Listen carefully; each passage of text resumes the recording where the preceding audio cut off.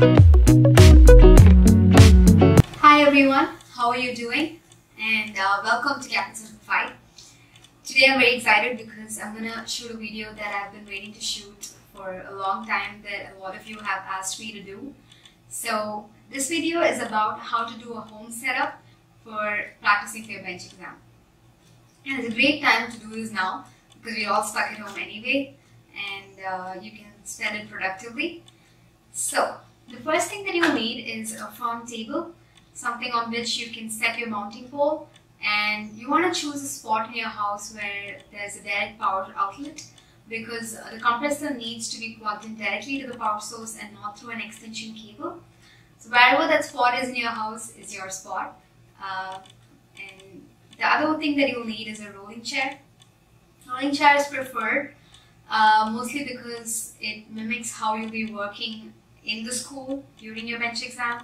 It allows you to see different kinds of positions, which works best for you, and practice in that. Uh, I know it's very difficult to go out shopping right now, but you can check a Facebook Marketplace or Walmart may, might have something. So that's about a rolling chair. And then the other things that you can buy online are compressor. The compressor that most of us use is the California Air Tools compressor. You can find in Amazon. Um, it's very small, it's quiet, and it's portable. It's only around $95. It's a great compressor. You can use that for all your preparations. Um, you can also get a dental turbine unit from Amazon as well. It's available for around 60 to $70. The tricky part is connecting the compressor to the dental turbine unit because you would have to buy a small connector from a hardware store. It should be available uh, in stores like Home Depot, Harbor Freight Tools if you're in the US or any hardware store for that matter. Um, you can just take the tube that they provide you with, with the compressor and just take it to the hardware store and find a connector that fits it. So the way to connect these two, a good video that's out there is uh, by Dr. Tools. Um, it's a very simple demonstration on how to connect it, so you should you should watch that when you're connecting it. And then you need to have a mounting pole because it's very important to mimic the patient situation. You always have a mounting pole in these dental schools. If not, they have it mounted to a dental chair. So practice indirect vision. That's very very important. That's something that every dental school looks for to see if you're comfortable with that. So keep practicing that. You can get mounting poles from Amazon for around $80.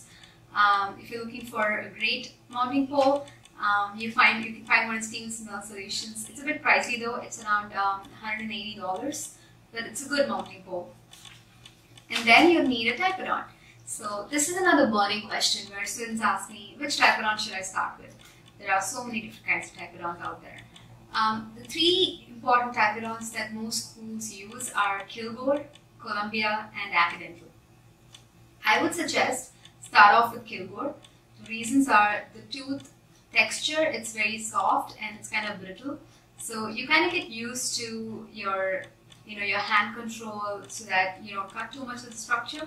But if you start working in Columbia, uh, my assumption is that Columbia, tooth, you know, it's really hard compared to Kilgore or Acadental. So you might be a little too aggressive if you had to work with Kilgore or Acadental for any specific school.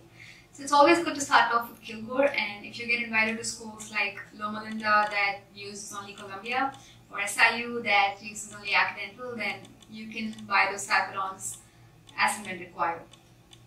Always buy Typodonts and replacement teeth through students or um, in dental stores, in websites like Dr. Tools or Stevenson Dental Solutions.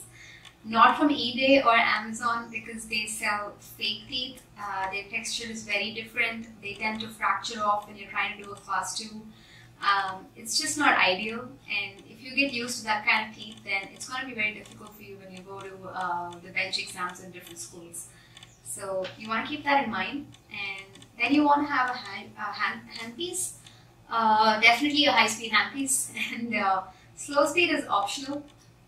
I would recommend probably just the friction grip uh, slow speed so that you can smoothen out your preparations, whether it's a class 2 or a crown prep. It's not required, but it's something that you could use and most schools do provide you with uh, slow speed handpiece. so you can make your preps look pretty and um, you can obviously use that to smoothen out the floor as well when you're doing um, a class too. But the slow speed also needs an air motor, that in mind. Um, you can get basic hand pieces which start off with around 30 or 40 dollars. Uh, it goes all the way to about $500 depending on the quality of the handpiece. You do find uh, value packs in Stevenson Solutions website, so check that out. You could find something there. Don't buy them off of Amazon or eBay. I, I don't recommend that. Maybe from dental students on Facebook. That should be okay too. So apart from that, you you need to uh, start working with hand instruments. That's very important to create accurate preparations. Um, something basic that you want to work with is an enamel hatchet. Make sure you get something from Brasseler or Hugh and keep them sharp. Have a sharpening stone to sharpen it.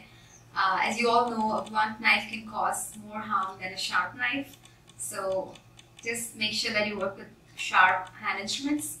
Um, other hand instruments that you can experiment with are gingival marginal trimmers, off-angle chisels, but they're not important, they're not required. Off-angle chisels I like to use because they give me access to different areas of the mouth, but um, it's not something that most schools provide you with. But enamel hatchet, you can provide, you can find it in all your instrument kits. So practice with those. I'm going to make a separate uh, video for burrs on what burr you can use on different teeth. Um, it, it's all your preference mostly.